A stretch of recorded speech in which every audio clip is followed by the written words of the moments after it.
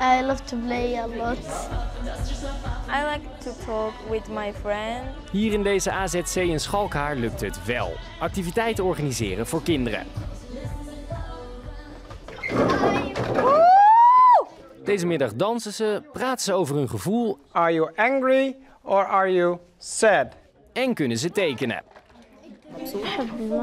You can express, you can and do more friends. I love to draw, I love to play, I love to talk a lot. Maar op noodopvangplekken is dit dus zeker niet overal zo. Er zijn heel veel tijdelijke plekken eh, waar vaak geen eh, activiteiten geregeld kunnen worden omdat het maar heel kort open is. Terwijl dat voor kinderen juist zo belangrijk is.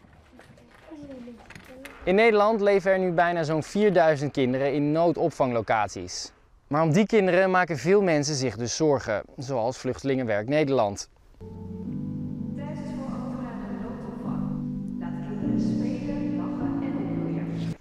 Maar ook een organisatie als UNICEF kwam afgelopen week met dit nieuws.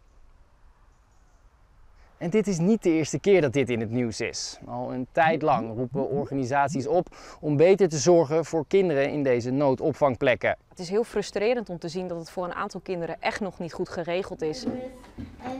Ook sommige van deze kinderen hebben in zulke tijdelijke plekken gezeten. Zoals Selma. In Terapel were no nothing to do. And how did you feel when you had nothing to do? Uh, very boring is like what I do here if I don't have no friends, no nothing. I really don't know what to do.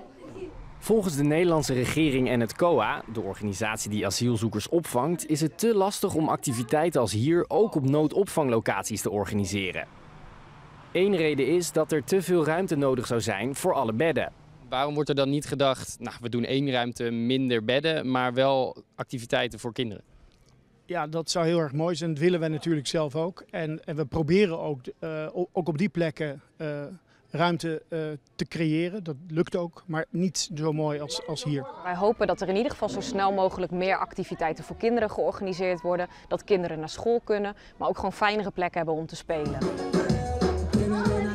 Very important. Like sometimes I eat in a rush.